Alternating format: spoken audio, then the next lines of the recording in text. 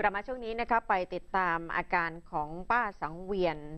นางสังเวียนรักษาเพชรอายุ 52 ปีนะคะที่ก่อเหตุใช้น้ำมันราดตัวเองก่อนจะจุดไฟเผาได้รับบาดเจ็บสาหัส ระหว่างที่มายื่นหนังสือร้องทุกข์นำโฉนดที่ดินไปค้ำประกัน ซึ่งสุดท้ายมีการเจรจาประนอมหนี้อยู่ที่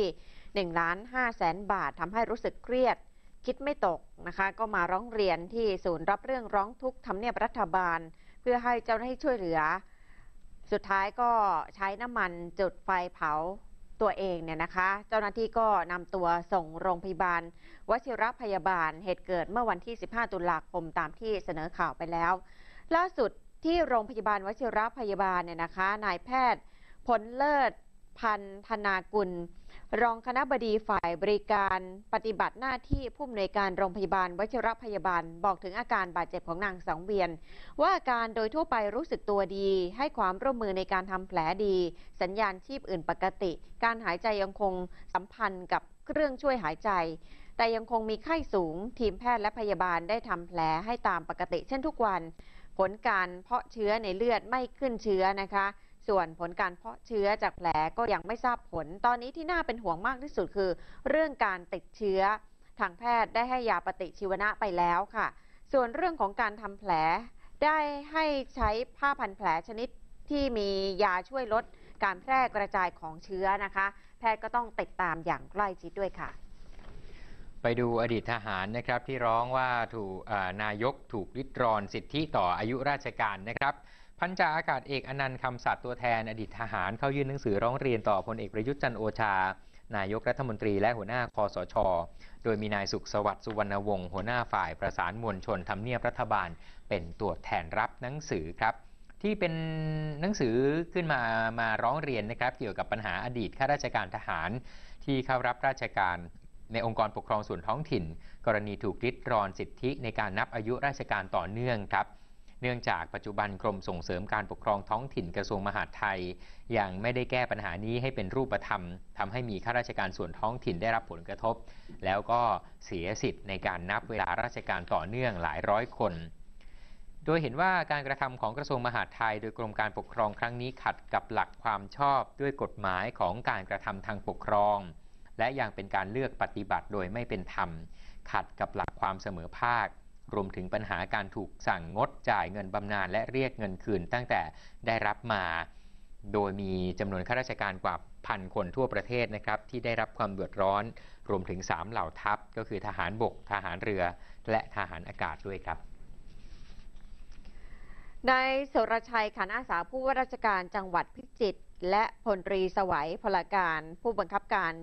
กองกำลังรักษาความสงบเรียบร้อยจังหวัดทหารบกเพชรบูรณ์ ประจำพื้นที่จังหวัดพิจิตรได้เปิดศูนย์ดำรงธรรมให้ตำรวจจากสพบึงนารางจำนวนกว่า 45 นาย จากตำรวจทั้งโรงพักทั้งหมด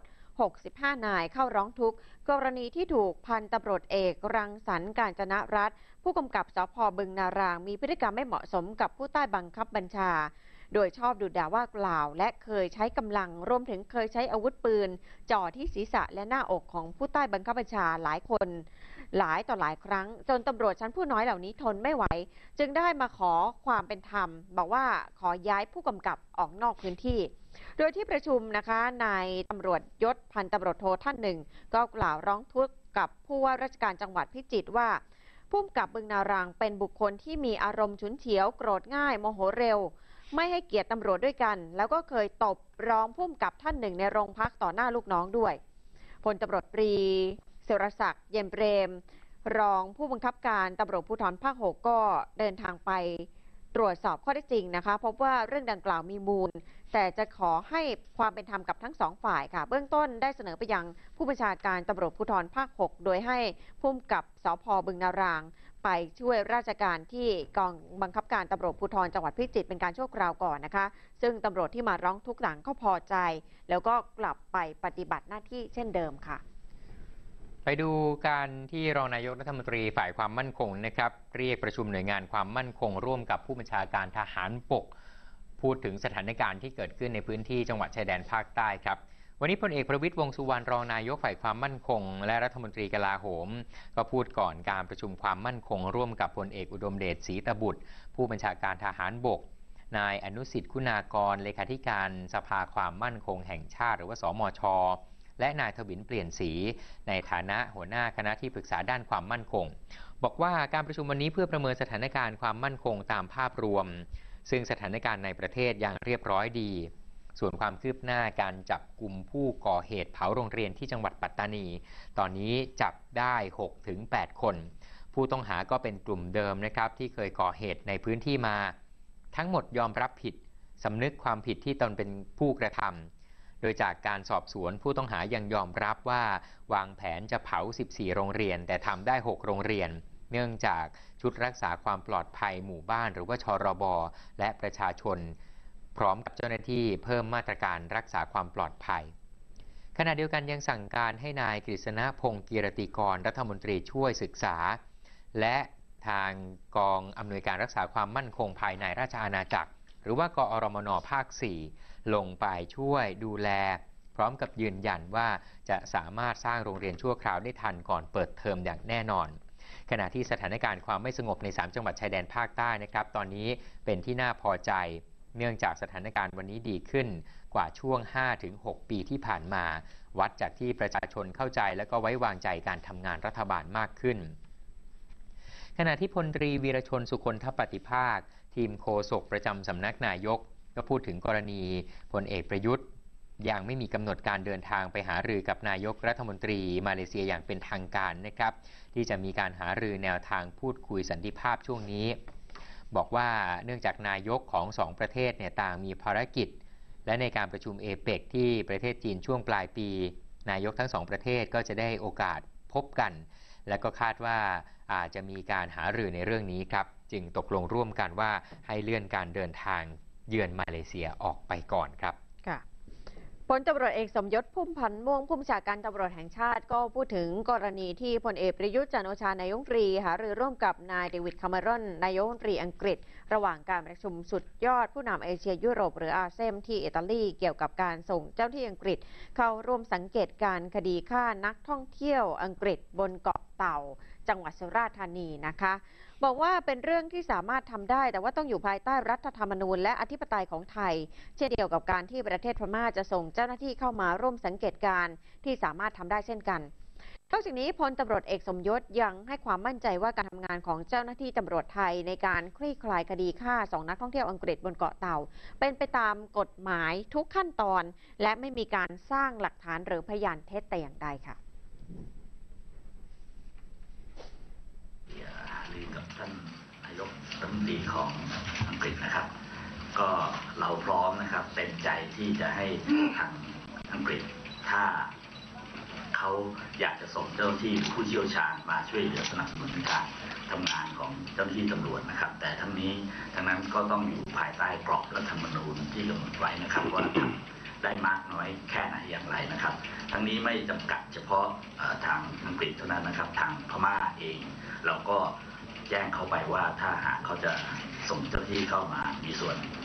สนับสนุนหรือมาสังเกตการณ์เราก็ยินดีครับ ด้านพลเอกประวิตยวงษ์สุวรรณนะคะรองนายกรัฐมนตรีฝ่ายความมั่นคง และรัฐมนตรีว่าการกระทรวงกลาโหม ก็พูดถึงคดีฆาตกรรม นักท่องเที่ยวชาวอังกฤษที่เกาะเต่าด้วย บอกว่าการปฏิบัติหน้าที่ของเจ้าหน้าที่สกอตแลนด์ยาร์ดจากอังกฤษ เป็นเพียงการขอมาสังเกตการณ์ศึกษารูปคดีในการสืบสวนเท่านั้น ไม่ใช่การเข้าร่วมทีมสอบสวน เนื่องจากว่ากระบวนกระบวนการพิสูจน์ทางนิติวิทยาศาสตร์และผลดีเอ็นเอมีความชัดเจนอยู่แล้วค่ะขณะที่นายแพทย์นิรันดร์พิทักษ์วัชระประธาน อนุกรรมการสิทธิพลเมือง และสิทธิทางการเมือง ในฐานะคณะกรรมการสิทธิมนุษยชนแห่งชาติ ก็ถแถลงหลังการประชุมร่วมกับผู้ที่เกี่ยวข้องนะครับ กรณีมีผู้ร้องเรียนว่ามีการซ้อมทรมาน ผู้ต้องหาคดีฆาตกรรมนักท่องเที่ยวเนี่ย บอกว่าได้รับข้อมูลจากพันตำรวจเอกประชุมเรืองทอง ผู้กำกับการสถานีตำรวจภูธรอำเภอเกาะพะงัน ว่าคดีนี้มีชุดสืบสวน ทั้งในระดับพื้นที่ และจากสำนักงานตำรวจแห่งชาติหลายชุด แต่ก็ยืนยันว่าเมื่อจับกลุ่มผู้ต้องหาได้ และนำตัวมาที่สพอ ไม่มีการซ้อมทรมาน โดยผู้ต้องหาได้รับสิทธิ์ในการตั้งทนายความตามที่กฎหมายกำหนด แต่ก็ไม่สามารถยืนยันได้ว่าการซ้อมทรมานเกิดขึ้นขั้นตอนไหนนะครับ เพราะว่ากระบวนการสืบสวนของแต่ละหน่วยงานไม่สามารถไปก้าวไก่ได้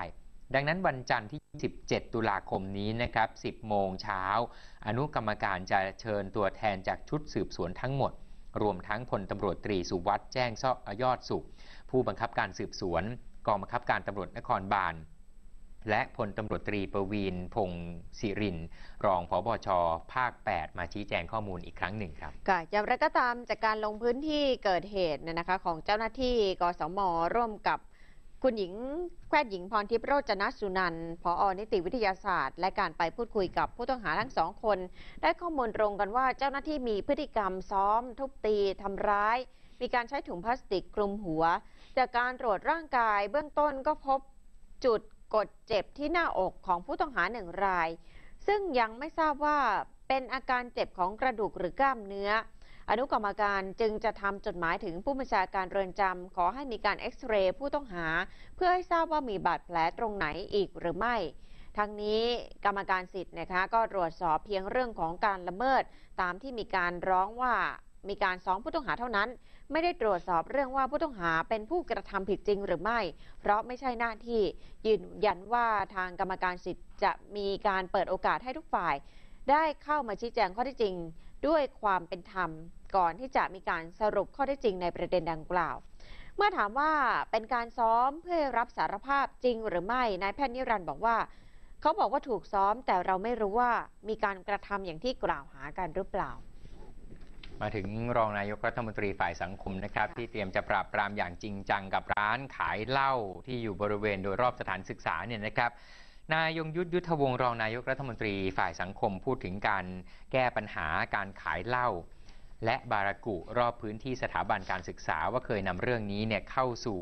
ที่ประชุมของคณะรัฐมนตรีแล้ว พบว่าสถานประกอบการจำหน่ายเครื่องดื่มแอลกอฮอล์จำนวนมาก ดำเนินการอย่างไม่ได้รับใบอนุญาต จึงจำเป็นต้องให้ฝ่ายกฎหมายเข้ามาร่วมดูแลเรื่องนี้อย่างจริงจัง และต้องคำนึงถึงความสำคัญการแก้ปัญหาที่ต้นเหตุ ซึ่งต้องเริ่มที่สังคมและสถาบันการศึกษาด้วย โดยบอกว่าการสูบบารากุเนี่ยได้รับความนิยมในกลุ่มวัยรุ่น มักเสพในสถานบันเทิง ผับบาร์ตามชุมชน สาเหตุนะครับที่สูบเพราะว่ามีรูปทรงแปลกตาแปลกใหม่ โดยเครื่องมือการสูบเป็นภาชนะเนื้อโลหะ รูปทรงคล้ายตะเกียง ส่วนบนสุดใช้วางหยาเส้นที่เรียกว่ามาเอเซลซึ่งอันตรายจากบารากุเนี่ยนะครับก็มีถ้าสูบประมาณ 1 เดือน ผู้สูบก็จะเริ่มติดและจะรู้สึกกระสับกระส่ายาเล็กน้อยคิดอะไรไม่ออก ถ้าไม่ได้สูบบารากุเนี่ยมีโทษ มากกว่าบุหรี่ถึง 6 เท่า สูบบารากุ1ห่อเท่ากับสูบบุหรี่ 20 มวน เสี่ยงต่อการเป็นโรคมะเร็งไม่น้อยกว่าการสูบบุหรี่ ในบารากุมีสารอันตรายอย่างนิโคตินคาร์บอนมอนอกไซด์สารก่อมะเร็งในระดับสูง สูบบารากุนาน 45 นาทีนะครับจะผลิตสารน้ำมันดินหรือว่าทามากกว่าบุหรี่ 5 นาทีถึง 36 เท่าอาจก่อให้เกิดโรคติดต่อหากใช้อุปกรณ์ร่วมกันอย่างเช่นวัณโรค จากโทษของบารากุจะส่งผลให้เกิดการผลักดันกฎหมายควบคุมยาสูบชนิดนี้ในไทย ถ้าผู้ใดฝ่าฝืนจะต้องได้รับโทษปรับไม่เกิน 20,000 บาท แต่จากการสำรวจกลับพบว่ายังมีขายตามสถานที่ท่องเที่ยวยามราตรีอย่างเปิดเผยในขณะนี้ครับ ไปดูกันที่ของผู้เสียหายนะคะเรื่องของการที่ลูกตัวเองได้รับ ให้เป็นพรีเซนเตอร์สินค้า แต่ว่าไม่ได้รับเงินค่าจ้างว่าอย่างนั้นนะคะครับที่กองปราบปรามเมื่อเวลา 14 นาฬิกานางสาวรุ่งฤดีมหาเกษมศรี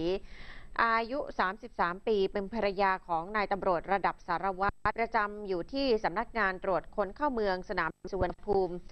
อยู่บ้านเลขที่ 68 ทับ 424 ซอยพหลโยธิน 1 เขตและแขวงพญาไทกทม พร้อมด้วยผู้เสียหาย 5 ราย เดินทางเข้าร้องเรียนต่อสื่อมวลชนประจำ กองปราบปรามเนี่ยนะคะ กรณีที่มีผู้ใช้ Facebook ชื่อว่าตองอขออภัยเตยตองตังนะก็หลอกนำบุตรไปเป็นพรีเซนเตอร์สินค้า แต่ว่าต้องให้จ่ายเงินค่าดำเนินการรายละ 1,000 บาทก่อน นางสาวรุ่งฤดีบอกว่าเมื่อประมาณต้นปี 2557 ได้พบ Facebook ดังกล่าว จึงได้พาเด็กหญิงราชพฤกษา ซึ่งเป็นบุตรสาวของตัวเองนะคะวัยสองขวบไปถ่ายภาพทำโปรไฟล์นำเสนอโมเดลลิ่งต่างๆ เพื่อพิจารณาคัดเลือกเป็นพรีเซนเตอร์สินค้าสำหรับเด็ก ก็ติดต่อกับทางเจ้าของ Facebook จนกระทั่งนัดให้พาลูกไปถ่ายโปรไฟล์ก่อน แล้วก็เรียกเงิน 1,000 บาท วันนั้นเพราะว่ามีคุณแม่พาลูกมาถ่ายภาพแบบนี้กว่าร้อยราย จากนั้นไม่นานก็มีการติดต่อมาว่าลูกสาวไม่ได้รับเลือกเป็นพรีเซนเตอร์สินค้าสำหรับเด็กได้แก่ฟองน้ำยากันยุงและครีมอาบน้ำก็เลยพาลูกไปถ่ายภาพกับผลิตภัณฑ์ โดยที่ไม่มีการเซ็นสัญญาจ้างต่อกัน ก็อ้างเพียงว่า